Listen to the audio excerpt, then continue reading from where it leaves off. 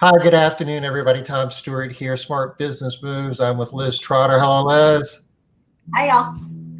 And we have a really special guest today. I've been a friend of mine for a long time. Uh, properly social distancing and wearing his PPE, Ernie Hartong. Hey, Ernie, how are you? Hey, I'm terrific, Tom. Thank you. This is my soapbox statement about wearing masks. I mean, I just I, have become a fanatic, really. I mean, I just think it's it's really important with what's going on in this unprecedented time, and uh, I think that uh, I think that uh, you know if if you're not wearing masks, you're irresponsible, and if you're an owner and you're sending cleaning technicians into a home without wearing masks, you're worse than irresponsible. So that's my my pitch for mask wearing. Yeah, we um, you know did our our COVID class through Modern Cleaning, and we also touch upon this quite a bit within the PHC program. All the training that we're putting out is certainly emphasizing you know safety practices, all the proper PPE, and masks during a COVID nineteen world during this unprecedented time is certainly not optional. It, it, it, it needs to be a, a an all time thing. You know, Ernie showed Tom up there. He, he still had to get his own little unprecedented in there. You were so fast. Yeah. Well, hey. Liz keeps scoring. I don't know if it counts if somebody else says it or not. oh, it absolutely counts. well, that's why I titled my program the way I did today when you asked me to join you. yes, indeed. You know, which probably would uh, be worth our while to go through what we're going to be talking about the rest of the week, just so we don't uh, forget. All I need to do is share a screen. I hope you guys were able to. I meant to shut my. Go ahead, Liz. Okay, we're good. Okay.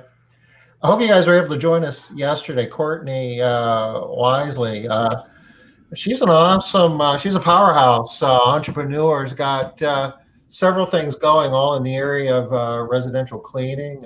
shared a lot of neat software platforms that would be useful to cleaning businesses to save them time and get better outcomes. So if you didn't see that, you, you, you missed something. You need to go back and watch it.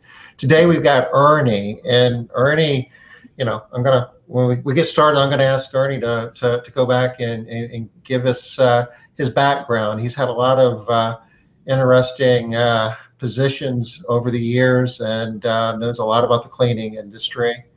Uh, Greg Shepard's going to be with us on on Wednesday.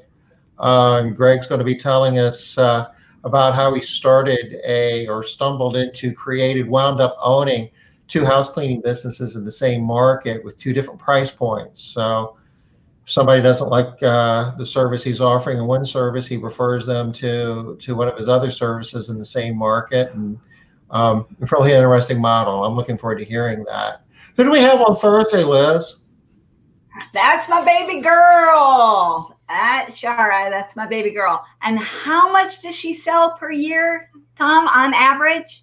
Forty million dollars. That's four zero million. Over, over forty million. over forty. Over million dollars in sales every year. Yeah, she's she's gonna share her top her top sales strategies. But you guys need to be ready because people think I like to talk. Tom, you've met my daughter in person. She talks and she talks fast. She's like, sometimes I'm like, love, I'm sorry, I can't understand a word you're saying because she just talks so fast. So be ready if you're if you're gonna be here on Thursday. Yeah, get get get plenty of sleep Wednesday night and bring your coffee and uh, your undivided attention. Yeah. All right, and then I didn't give a, a clue yesterday, Tom, for our secret guest. I forgot to give one at the end. Remember? Yes. Do we want to do that now? Yeah. Well, yeah. So I have two today instead, and I did write them down so I wouldn't forget. Well, the first one is our secret guest currently has COVID 19. So she's going to be a guest. She's not that ill, obviously, because she is going to be on the uh, webinar or on our Facebook Live. Um, so that's probably the first time we've ever had anybody that we knew had COVID 19 on our um, smart business moves here. Um, and then the second thing, what was the second one? Oh, my second clue. Where'd it go? Ah, her operations manager of five years moved and is currently continuing to work as a virtual employee. And so she has some information there as well. Okay. So the plot thickens. And yeah. today's only Tuesday. Anybody have any guesses out there? Go ahead and throw it in. Not that we will confirm or deny anything, but it's always fun to guess, right? Yeah, yeah, yeah, yeah. Uh, let's see. Uh, oh, Denise, my daughter does sales for a company called Electric Guard Dog. It's electric fencing, and they put up, um, you know, security fencing like for Walmart and those kind of places. And it's so, really kind of cool. We looked, we looked at that for for our office at North Charleston. We I can hear you, Tom. I can't hear you. You can't hear me? I can hear you, Tom. You're fine. Okay. Um, her, our office in North Charleston has fence around it, and we had some break-ins, and they basically wire like high voltage electric fence, and if somebody and they've got signs up, it says it's electric fence, so you would really want to get in, you know, pretty bad.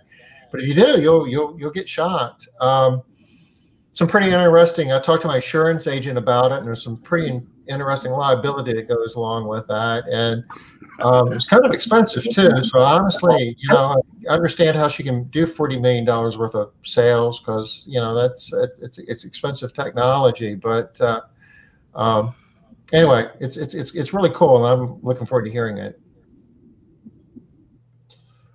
Can you hear me, Liz? I just found out what's wrong with my computer. I can hear you now. Can you hear me? Yeah. Yes. I, I have this thing, splash top streamer warning. I just got it. Our benchmark shows frame capture is very slow on this computer. As a result, you may experience slow screen refresh and high CPU in a remote ses session. It is an indication of insufficient video memory. Our support site describes several workarounds for this problem. And then Mirror Driver has proven to help with this issue. You can choose to install it now or later from Advanced tab. I'm going to try it now. Are All right. You sure you're. Let's you go. Let's see. If- okay. It you said know, install Mirror Driver. Do it now. Go ahead. What's the worst that happen? Download a virus and lose all your personal information. Do I look like Derek? I don't think so. You probably have to reboot your computer. Yeah. That explains it because your your your oh, resolution's kind of fuzzy. You're not you're not oh, really? clear as as you used to be. It says the driver installation failed. Uh oh. This is tragic. All right. Well. we've had we've had bigger problems. We're going to power through this, but we need to. We'll, we'll come up with some better solutions for tomorrow. Ernie, how you been? Fabulous. Any better, I couldn't stand it. Oh, that's from Denise. I'm like, yep. Tom, what are you saying the F word for on Facebook? but that's Denise. no, it's all good. It's all good.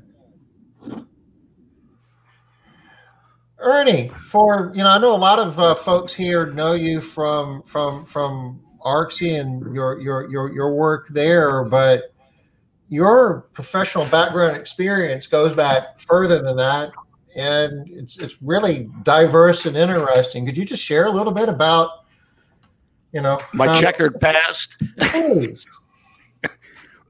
Well, I started uh, really in college when I um, broke my ankle prior to football practice and became a sportscaster instead of playing football. And uh, did that. Went to work for a couple of commercial stations uh, in the Mid Ohio Valley in Marietta, Ohio, and Parkersburg, West Virginia. Um, and one day, the mayor of Marietta knocked on my door and said, "The guy at the Chamber of Commerce has just decided to resign. You ought to apply for that job." I said, "Why?" He says, "Well, first of all, it pays fifteen hundred dollars a year more than you're making now." And I said, "Okay, we're in." the rest didn't and, matter, did it?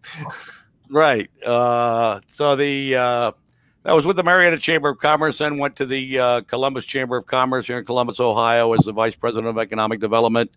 Uh, left there and had the greatest job in the world for a guy like me that loves golf. I was a caterer on the PGA Tour. I ran a catering company that did corporate hospitality and concessions and that kind of thing on uh, for PGA Tour events, senior tour events, and LPGA events. Uh, it was a fabulous job. Uh, the only problem was my kids were two and six. Uh, and in 1985, I was gone from home 29 weeks, uh, mostly three weeks at a time because the golf tournament is a three week job for the caterers the week before, week of, and week after. Uh, so I just walked in one day and said, you know what? I can't do this anymore. I'm just missing too much stuff with my kids and I had a national contract with a, a, company called Bunzl, which is in the distribution business, and uh, called that guy up and said, "Hey, I'm leaving. Here's who you talk to. Don't worry, you're not going to lose the contract." And he said, "Well, we need a salesman. Come and see us." And I said, "Come on, I don't want to sell paper plates." And he said, "No, come and see us." And I said, "Okay." I said, "I'll, I'll come and see you, and we'll talk about it." But I said, "I'll tell you right now, I want to get back in the Chamber of Commerce business." Uh, so I interviewed. He offered me the job, and I said, "Okay," for you know lack of anything else to do, I'll do it. But I tell you, I may leave next week. I may leave in six months. Well, being a commission salesman, much like your daughter Liz, I'm sure she is, um, it was a very lucrative kind of position. So my temporary thing lasted for about 11 years. and then a little chamber of commerce, uh, the timing is everything. Uh, they were going to close our branch here in Columbus, and I was going to have to move to Cincinnati or Pittsburgh or someplace like that. Didn't really want to do it. Uh, so there was a little chamber of commerce in a, a, little suburb called Clintonville that was looking for an executive director, and I said, "Great." I went and applied. My wife freaked out because of the salary cut, but we managed and put it together. And I did that for uh, about three years, and then lo and behold, uh, there was this organization called ARCSI, and the volunteer president of that organization happened to be someone named Allison Palmer, who was in my wedding as one of my wife's bridesmaids because she and my wife are sorority sisters. So she called me up and said, you know, geez, we're uh, looking for an executive director. Can you help us find one? And I said, sure. And so Alice and I would talk like once a week. And I said, get the board together, tell me what you want. And um, so lo and behold, I uh, one night after doing a little research on ARCSI, I pulled a Dick Cheney on her. I said, you know what? I found your guy. And she said, well, that's terrific. I said, Yeah, it's me. and she immediately said, Well, we can't talk anymore. You need to call Chuck Terpstra down in Tampa because I need to take myself out of this equation. So I talked to Chuck, did a couple of phone interviews with the board, and the next 10 years were history. And it was probably uh, the, the best 10 years of my career, quite honestly.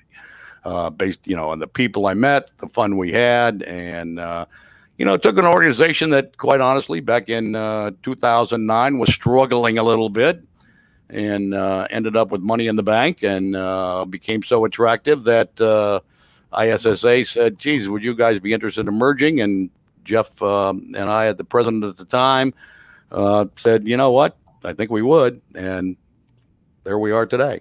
And then I decided I was going to retire because I was turning 70 and, geez, I was, you know, that lasted about a month. And it was Michael Corleone. They keep pulling me back.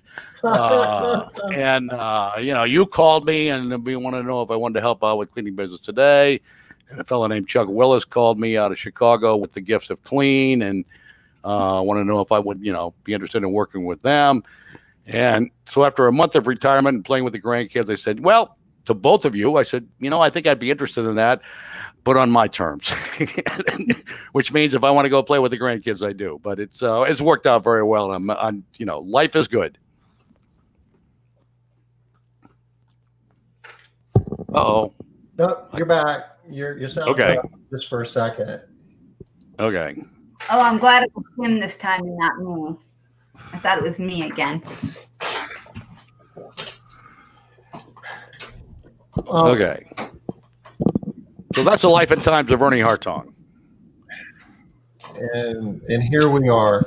And when you were in the uh, distributorship business, you, I mean, I guess part of what you were doing was like working with with JanSan products as paper products. Yeah, well, I had some. We had some JanSan. We were mostly uh, paper and plastic. We did have some JanSan products, and I did work with a lot of of small janitorial companies. And then I had a brief where I went to work for another JanSan company where I was actually stripping and waxing floors and uh, cleaning vacuum cleaners and disassembling them and putting back together and things like that. So I had a pretty good background in, in JanSan. So plus my association and, and Chamber of Commerce management. So the ARCSI thing was really a pretty good fit. Awesome. So what we want to talk about today, we're going to be talking about customer service. And yeah, and it, it's, you know, it's, it's, it's been a passion of mine. And, and really, since my very first real job, which means somebody else signed my paycheck, uh, was one of uh, I was a gas station attendant back in the days when gas station attendants actually came out and pumped the gas and cleaned your windshield and checked your oil and so that was about customer service and and I don't know if that really started it but you know I throughout my entire career I've always been passionate about customer service. Uh, even in the association business and the Chamber of Commerce business, I never had members, I had customers. Uh, and that's the way I viewed the folks that were paying their dues. I viewed them as customers. And uh, so I've been passionate about customer service for a very long time. And as Liz knows, uh, several years ago, I became a disciple of John DiJulius and the DiJulius Company, uh, uh, who I think are actually the best when it comes to customer service. And a lot of what you're going to hear from me today is going to be straight out of the John DiJulius playbook, quite honestly. What's? Bunzl is a distribution company. Uh, they do paper and plastic. They're big in the grocery industry. Uh, and they also serve smaller paper wholesalers and that kind of thing. They're an international company, about a $10 billion international company. Oh, okay. So really huge. He wasn't exaggerating. See, All right. Bill Golder here. Frozen. 23 cents a gallon. I paid that once upon a time. yeah. Um, Was that back when you cranked it and it went up into the No, no, I didn't quite have to crank it, but you, know, you, had to push it and then let the clutch out and it would go. Yeah. okay.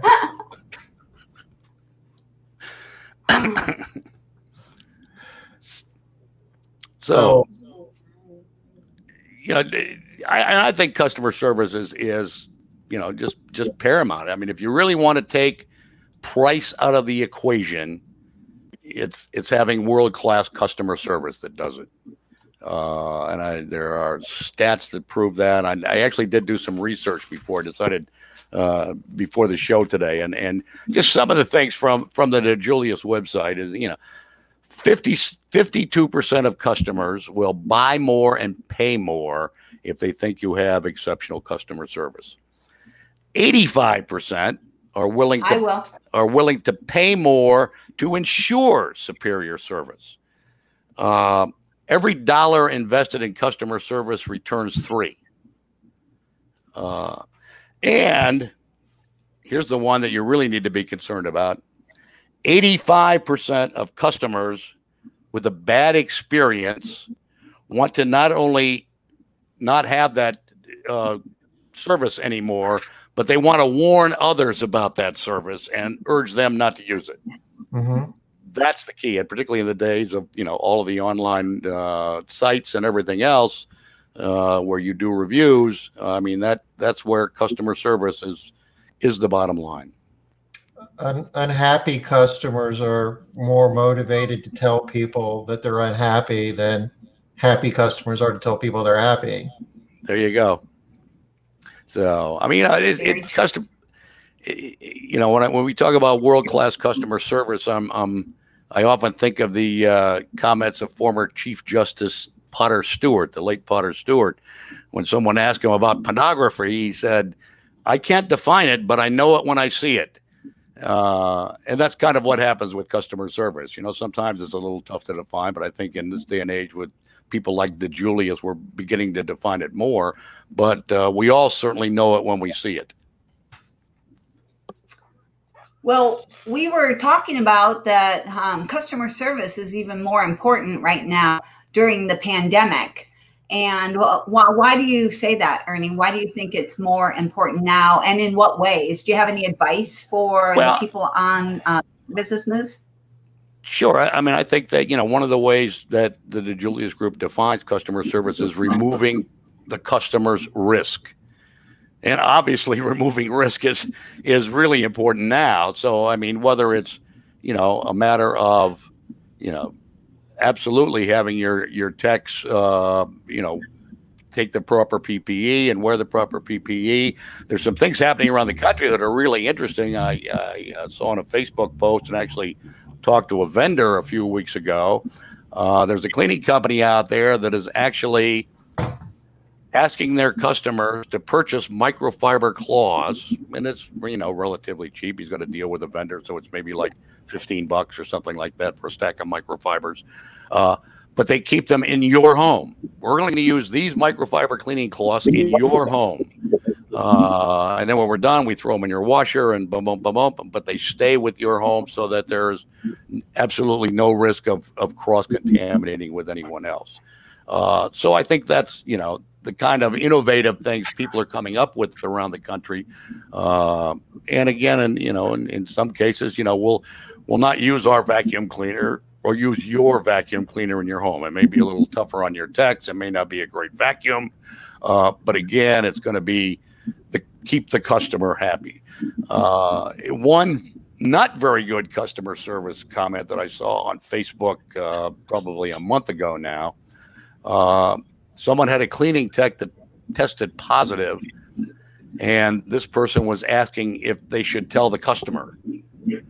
And I about went through my computer screen I mean, I said, absolutely, you have to tell the customer uh, that you know one of your techs has you know tested positive for COVID nineteen. Uh, I mean, that's not even a you know you don't even think about that. You just do it automatically. so, so I think that you know again, is, is you know COVID nineteen has you know absolutely presented some challenges. I, I got I got a question though, Ernie. So. Yes. I mean, on the one hand, it seems kind of obvious, but how far back do you go? Do you go back to every customer that in your whole entire company that they may have cleaned? Anybody that they've cleaned in the last week, in the last day, in the last month? How do uh, you make that determination? Yeah, I, I guess I would rely on the scientists for that, Liz, and, and say that you know if I if I had a if I had a tech that tested positive, that I would certainly go back to at least any customer that she had been in their home in the last 14 days. I mean, 14 days seems to be the magic number. Uh, so I would go back and tell those people. Uh, you know, and, and, it and it certainly it, it it if you've got the ability, it may even be smart to do it longer than that. Uh, you know, I mean, it, it's it's just one of those things that's, you know, one of the ways that obviously the scientists talk about continually to stop the virus is is the fact that you know we've got to identify these clusters or when things happen and get people tested and so we can can isolate them. And uh, certainly if i had a, if i had a tech that tested positive i would a let all those first you know let all those customers secondly test anybody in the company that she's come in contact with. Uh, that you know that's kind of a, a no-brainer as well but uh, you know it just you just have to deal with those kind of things. Yeah, I I also think that um, excellent customer service. The reason why everybody across the board doesn't provide excellent customer service is because it is it, it it's it's not clear it's very floaty so it seems like yeah you absolutely should tell every single customer if one of your um, technicians comes up with covid positive but there's another side is it possibly better customer service to only tell the people that could potentially be at risk so maybe making a judgment call based on, yeah, we were in the home of a 75 year old woman and we definitely want to talk to her and we might even want to pay for her to go and get a test.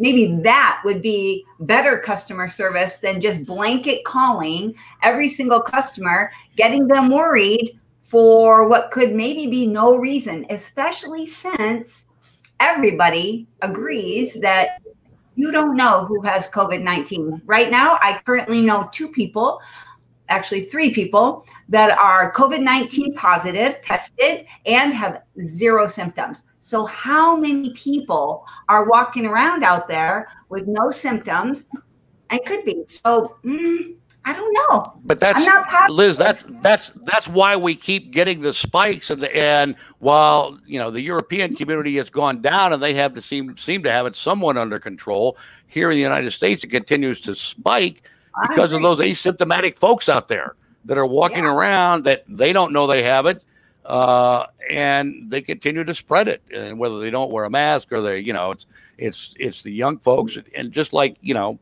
I saw the mayor of Atlanta in an interview last night. She has it, her husband has it, one of her kids has it. And but they don't have terrible symptoms. Okay. But they still have it. Yeah. Um, yeah.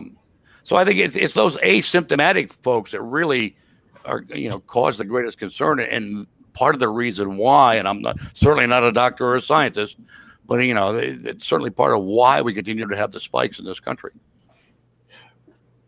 Diane has a question for us. She wants to know, you know, would you as a company owner pay to have the staff tested? Well, I'm not a company owner, so you two are. But if I were a company owner, the answer was simply yes. Mm-hmm. Well, around here, where I where I am, the tests are free. Yeah, so you, the only a lot of places is a lot of states, time. a lot of a lot yeah. of places you can get the test for free. I'll tell you the other challenge, though, obviously, is in some places you can't get tested. I mean, it, you know, you look at the lines in, in Texas where people are at testing sites and the and the line of cars is a mile long. It's it's difficult.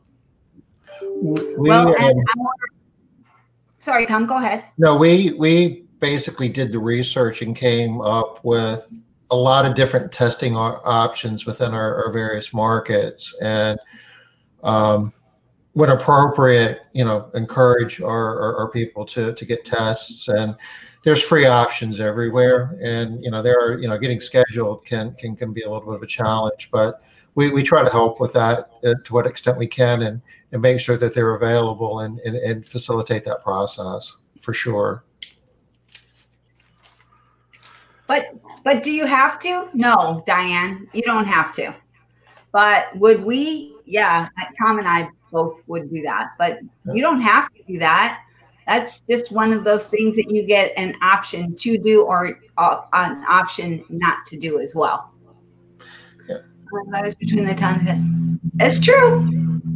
It's true, Marlo, right? I could have a negative test today and tomorrow I could pop positive. It's not like you, you're positive now until the rest of your life. So a negative test is again for psychological safety, right? It's not actually for your physical safety.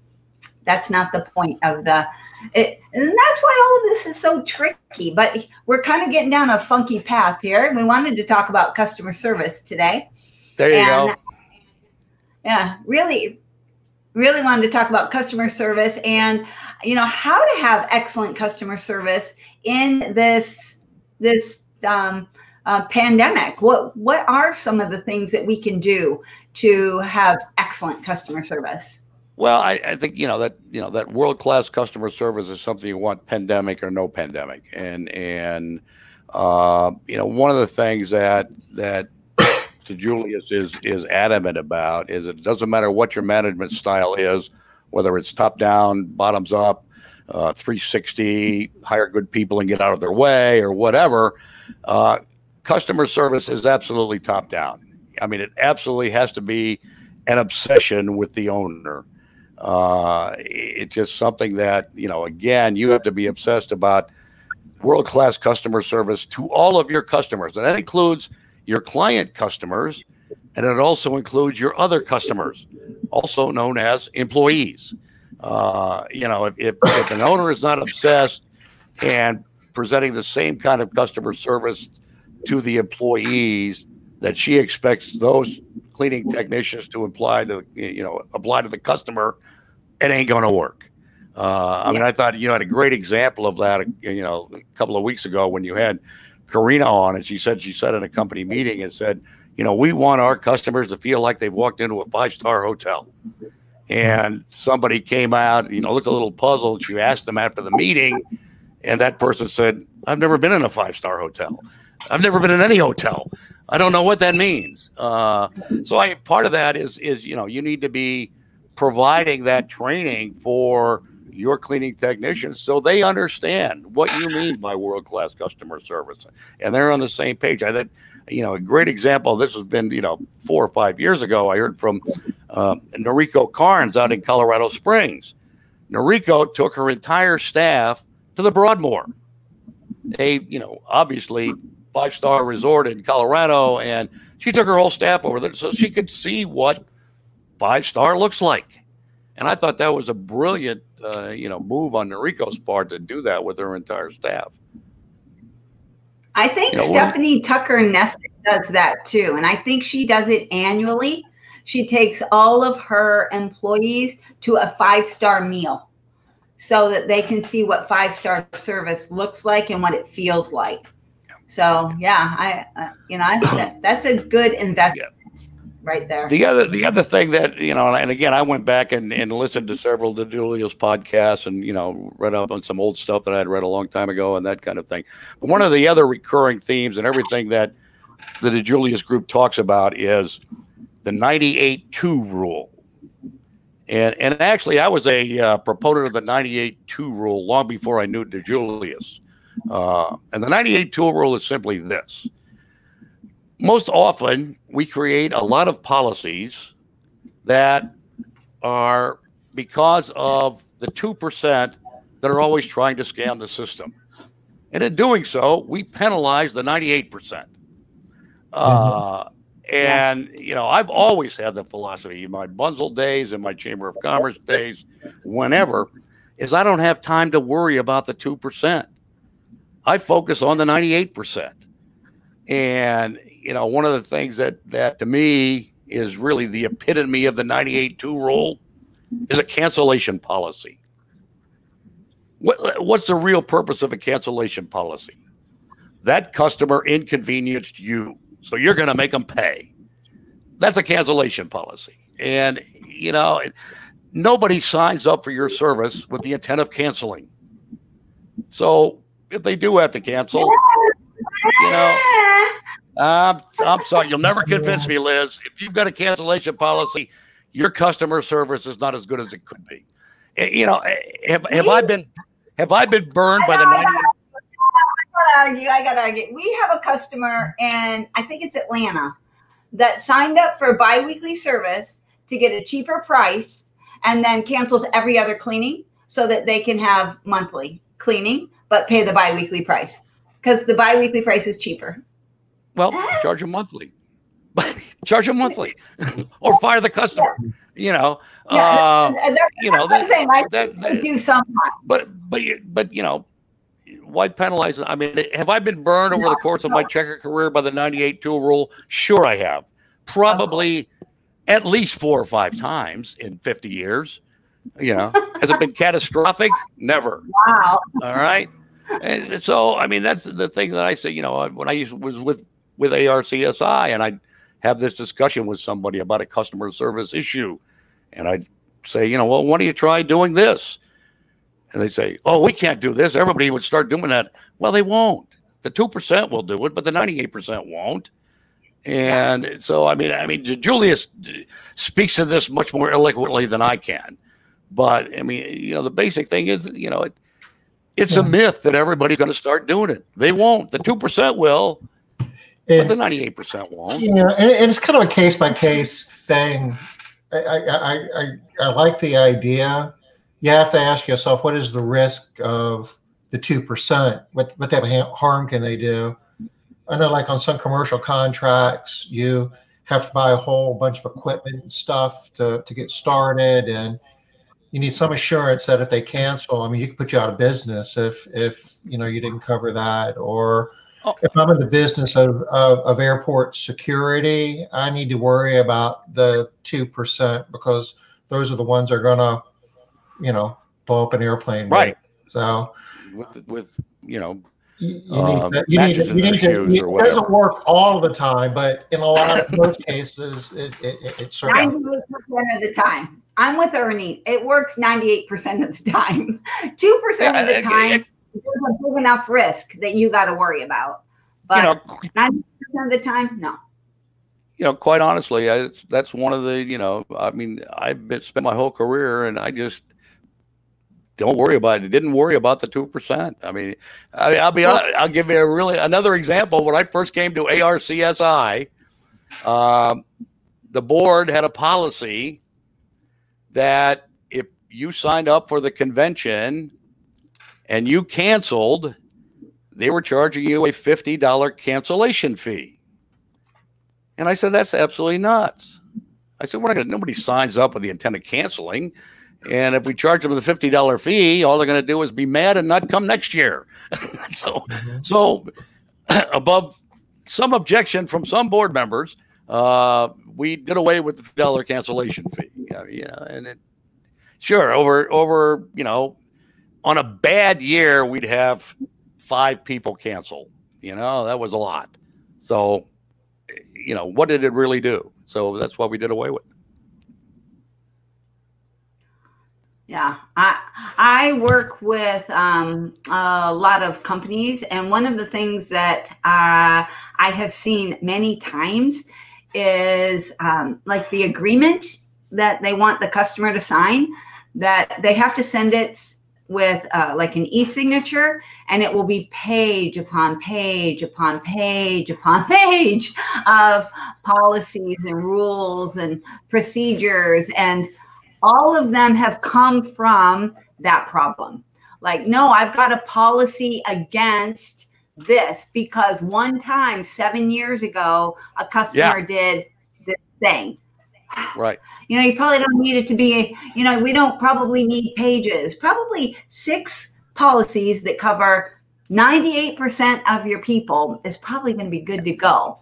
Here's the thing about that, Liz, is that I'm your customer I don't care about your other 500 customers. I'm an individual and I care about me, and I don't really care what those other customers did to you. I'm not going to do that to you. And I don't really care about those other customers of yours. I care about me. I'm an individual. So I want your service agreement tailored to me.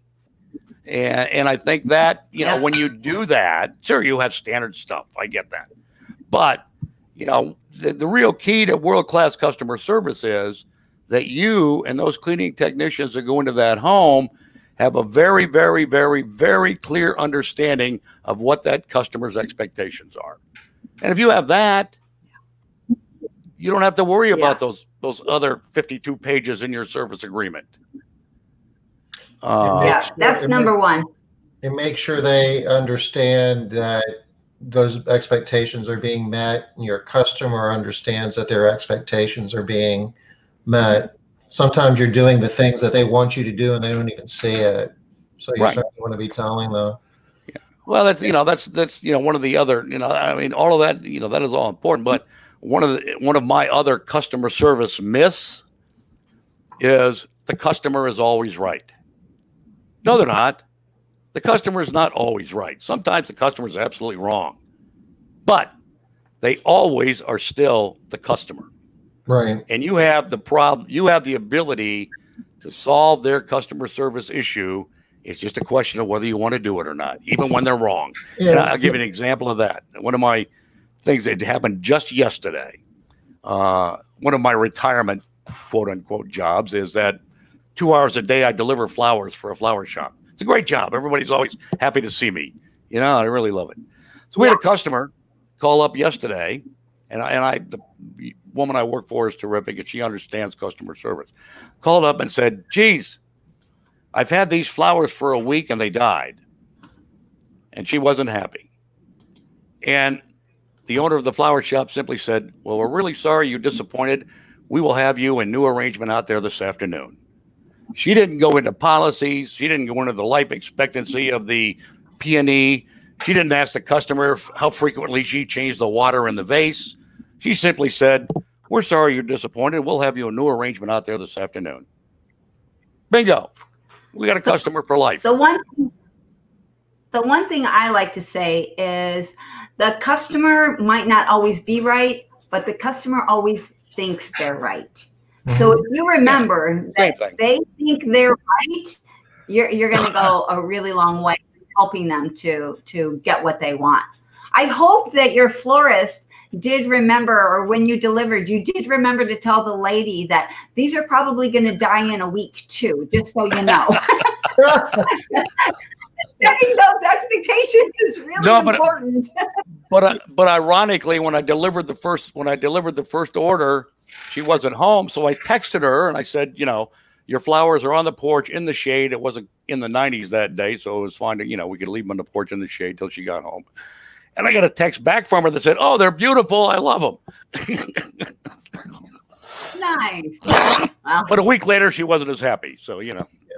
Yeah, so much of customer service really, where the rubber meets the road, is how do you deal with what they call non-conforming issues? How do you deal with unhappy customers? And if you've got policies in place that allow you to make an unhappy customer happy, that's when you reach the highest levels of customer service. I think uh, one large yeah. hotel chain kind of did some of those studies, and somebody had a great yeah, day. You get customer service at some level, but if they had a problem, if you fixed it, they were even happier.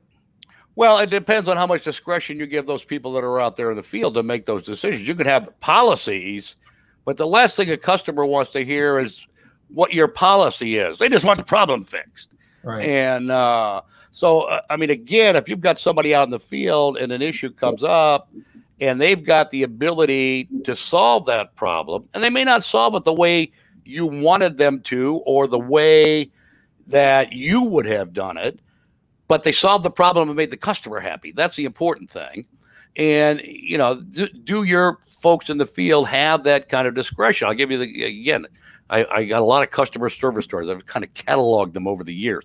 A great one was with Avis when Ross Perot owned Avis, and there was a young guy that was in the Avis, you know, store in somewhere in Massachusetts, I believe, and someone had rented a car. This was a young college kid. He was, you know, working by a, you know, at the he was the assistant to the assistant to the manager or whatever, how they want to do that hierarchy and anyway, a customer called in and they were, you know, 60 miles away and they had a problem with the car and they had a, or, you know, thing they needed to get to and they didn't have time to wait for the road service and yada, yada, yada. And, and this young college kid said, sir, don't worry about it. I will be there in less than an hour with a new car for you.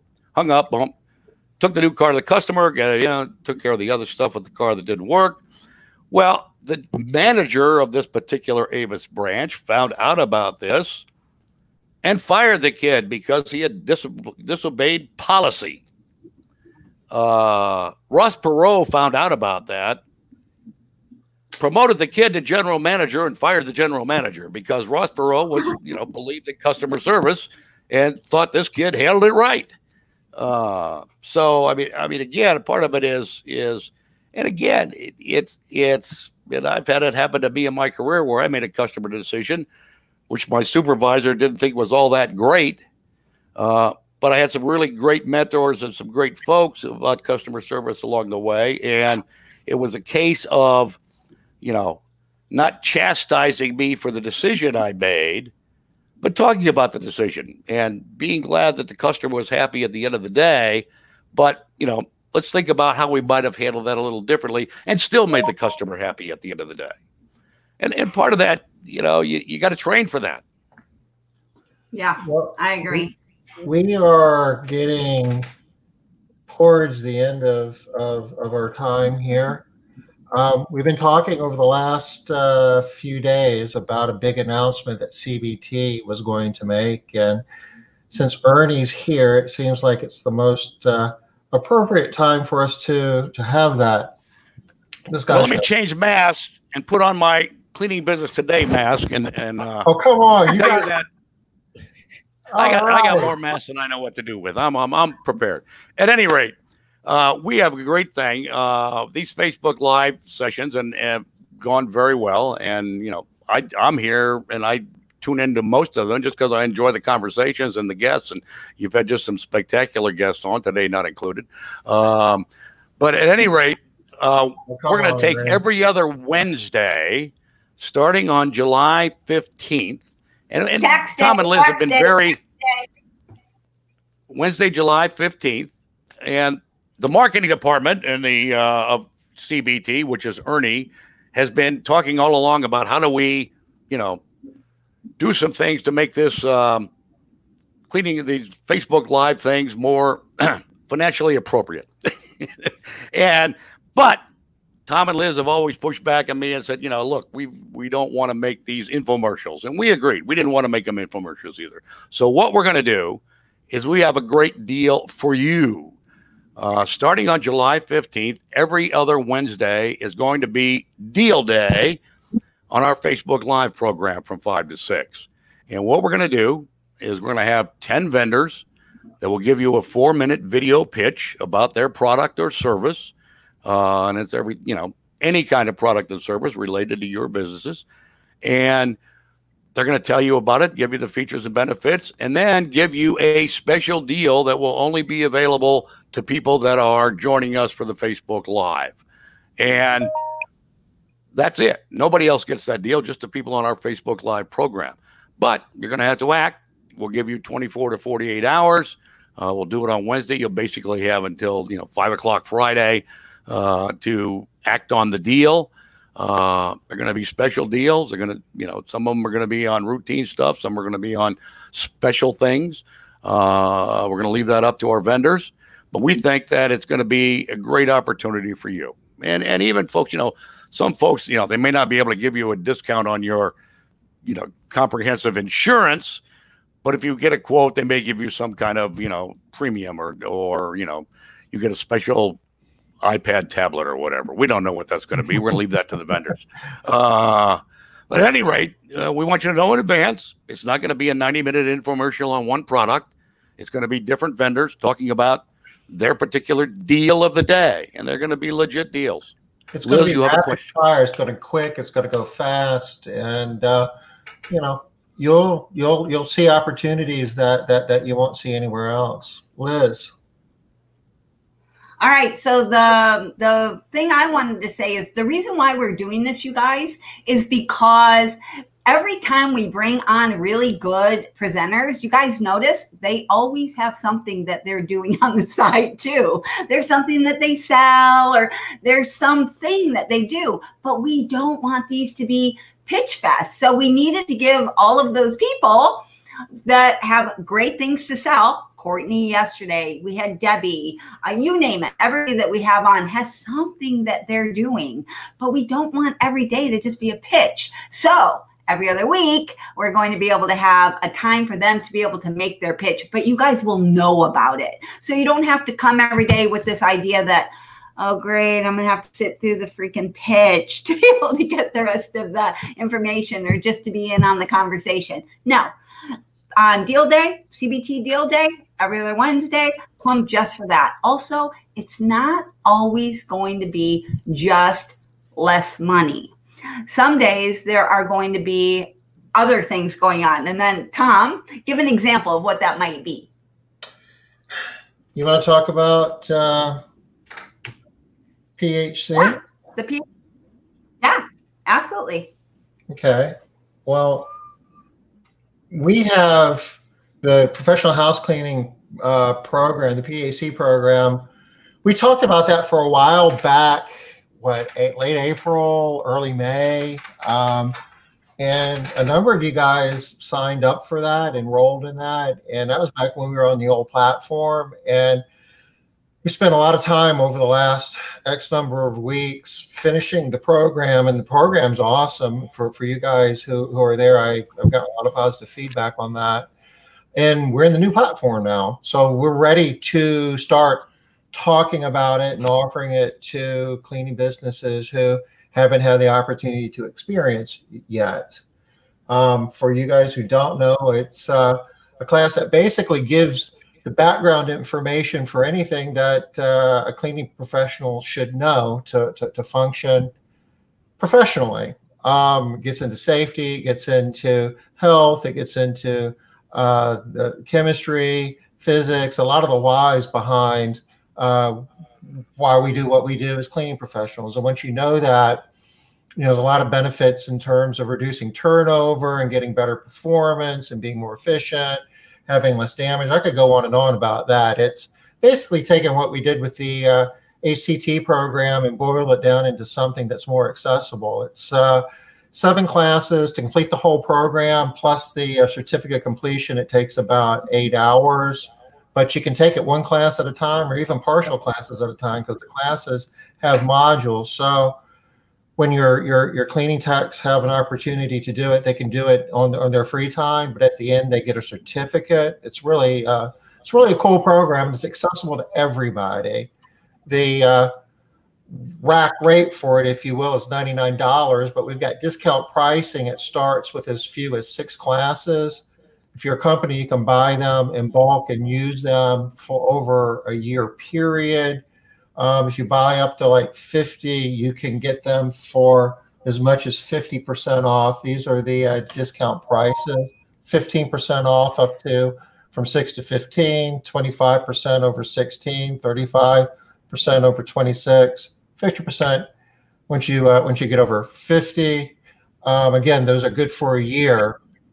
Each company now has a portal, and this is something that's really cool. And we'll we'll share this over the next day or two um, we get a chance where you'll see how you can manage enrolling your own employees and keeping track of their progress. So you're really kind of managing the program yourself or somebody in your organization. You can delegate that to. As far as smart business uh, moves is concerned, oops, this is another program. Um, we're getting 30% off. I didn't change my deck because we're doing something for another program, but this is a better deal, I promise you. Um, we're getting 30% off here for this program. If you enter SBM 30 at checkout, you get an extra 30% off all those other discount rates. This is only going to be good till Friday, though. So now you take this back around and you talk about uh, what we're going to be doing next Wednesday. We're going to have a promotion on Wednesday we're going to be uh, PHC is, is going to be offered as one of the deals on on Wednesday. You will get a discount on Wednesday. It will not be 30%. It will be less than 30%. But there's going to be some other goodies that are going to go along with it that are going to make it really interesting. Go ahead, Liz it's not really a discount, you guys. Um, on Wednesday, it's deal day. So you don't want to count on always getting a discount. It might be a discount, but you might be getting some other kind of a deal. And that's what's going to be happening for the PHC program on next Wednesday. Today, or this week until Friday, you're going to get the cheapest possible deal. All right. So if you're looking to spend less money, now's the time to do that. But if you're looking for some sort of a good deal where you're going to maybe get something else additionally, all right, then that you might be interested in purchasing something next Wednesday. But as far as best price discounts right now.